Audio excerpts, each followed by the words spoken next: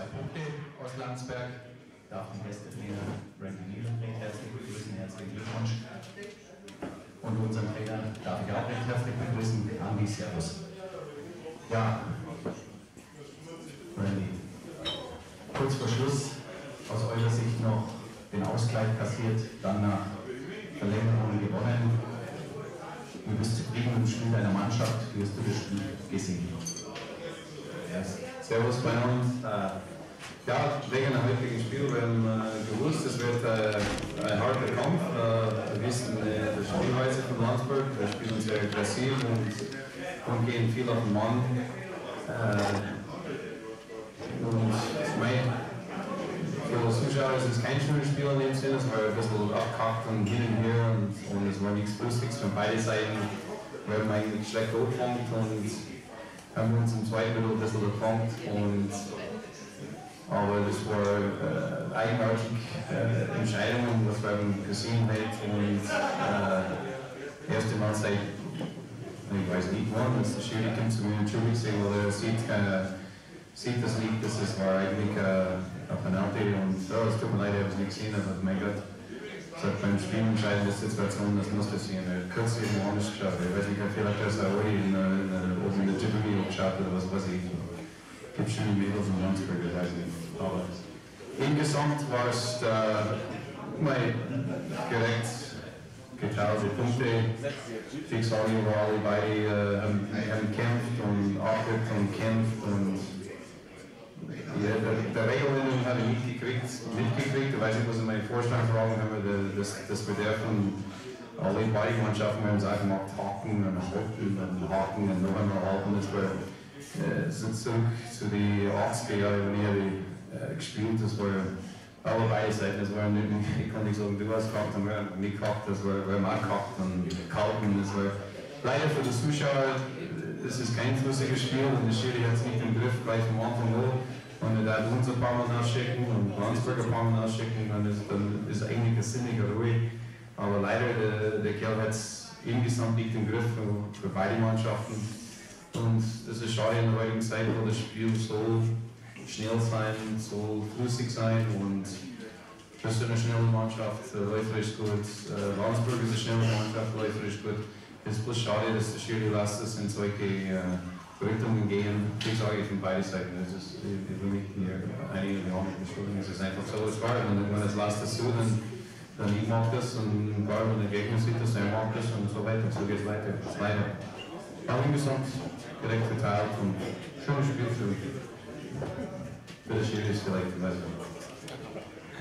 Dankeschön. Ja, Andi.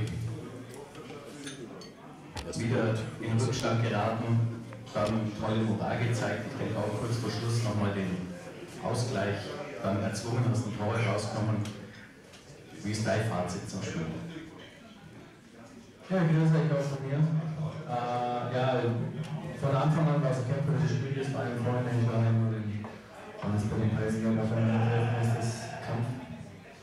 Äh, von unserer Seite aus, im, im Großen und Ganzen bin ich zufrieden mit dem, was wir gespielt haben. Wir haben uns bestimmte Sachen vorgenommen, die wir umgesetzt haben.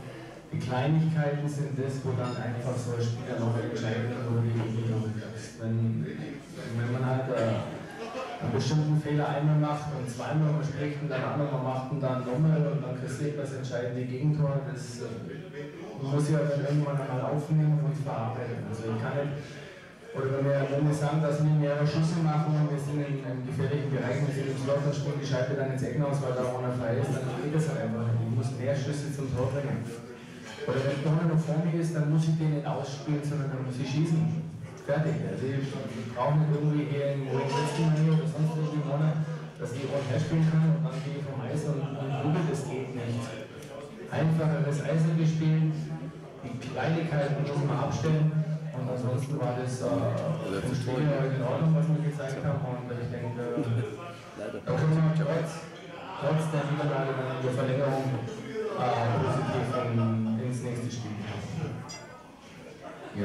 angesprochen, nächstes Spiel.